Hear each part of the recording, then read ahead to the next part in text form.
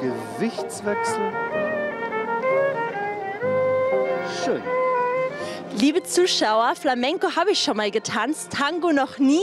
Ich bin heute beim ersten Queer Tango Walk am Marienplatz und ich frage die Leute, was sie denn davon so halten.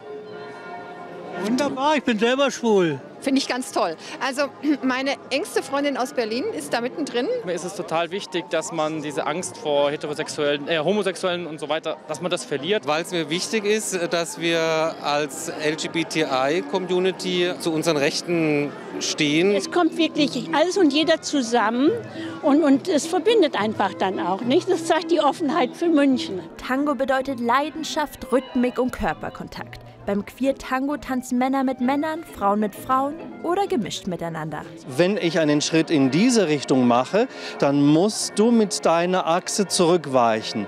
Und wenn ich dich als Leader zu mir ziehe, dann musst du genau einen Schritt zurück äh, nach vorne machen. Also man muss eigentlich keine Choreografie können. Äh, grundsätzlich nicht. Ich kann es eigentlich in einem Tag lernen, oder? Einigermaßen. Ich wünsche es dir. Für die wichtigsten Grundelemente im Tango, Gehen, Stops und Drehungen, muss ich also noch etwas üben. Liebe Zuschauerinnen und Zuschauer, hier beim Queer Tango Walk haben über 50 Tango-Begeisterte mitgemacht und ich muss sagen, ich wurde ein bisschen angesteckt und ich werde jetzt auch noch weiter tanzen.